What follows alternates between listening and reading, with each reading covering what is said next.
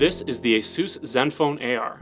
It's the world's first Tango enabled and Daydream ready smartphone running Android 7.0 Nougat. Now you can enjoy incredible augmented reality apps and virtual reality experiences with a 5.7 inch device.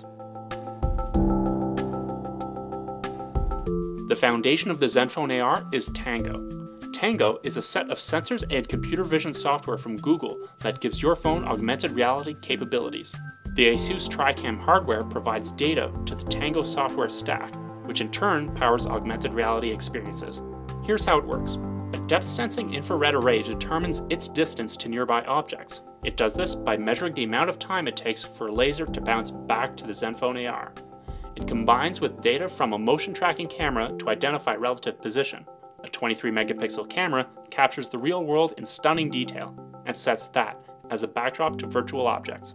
Beyond augmented reality is virtual reality.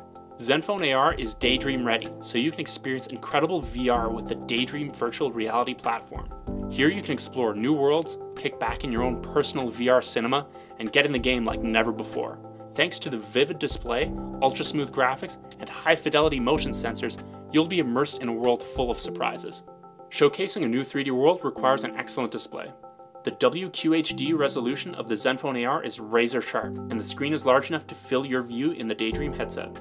A Gorilla Glass face ensures it can weather nicks and scratches. A generous screen to body ratio keeps it portable while still being a joy to look at. To process intense 3D graphics on the fly, the Zenfone AR needs desktop class processing power. At the core is a Qualcomm Snapdragon 821 processor.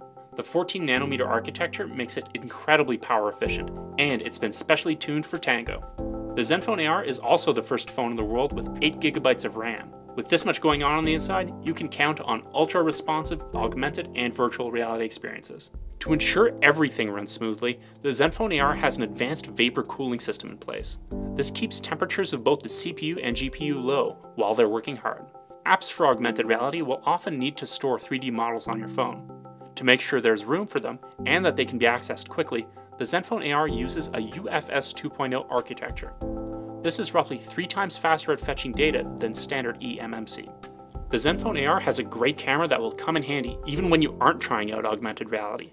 The 23 megapixel Sony sensor is able to capture minute details, plus an RGB sensor keeps whites balanced.